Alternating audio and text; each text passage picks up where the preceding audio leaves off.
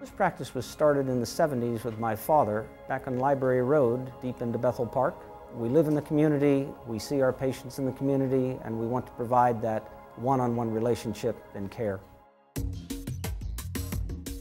We certainly offer the broad spectrum of eye care services from routine eye exam all the way through and including treatment for macular degeneration.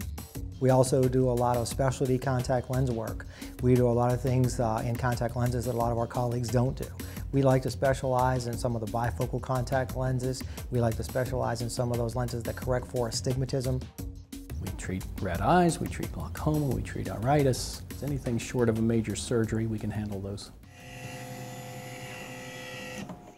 Us doctors, we try to attend the latest lectures, the latest seminars, learn about the latest techniques, and at the same time, uh, we try to stay ahead of the curve with the technology that is in instruments. There are instruments that no other practice in the area even has. What this does is take a very high magnified uh, image of the retina, which can help determine swelling or macular degeneration. Those are things that when I was in school 30 years ago, we thought could only be obtained after you were deceased uh, via an electron microscope. It's absolutely wonderful technology. Good. I want you to look up to your right. Now I want you to look up to your left.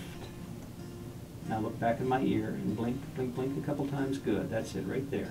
This is a, a private optometric office, and therefore we, we look at our patients as friends.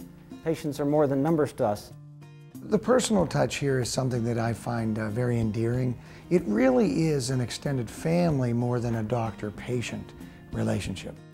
It's not an act. You, if you really care about someone, you can't fake it. When patients leave here, I want them to really go home and call a friend and say, hey, I want you to go here. This is probably the best place you can possibly go for your eye care. Those people are passionate about what they do, the staff cares about you, the doctors care about you, and in the end, you can be confident in the diagnoses that we make. And uh, I think that's uh, something we do pretty special.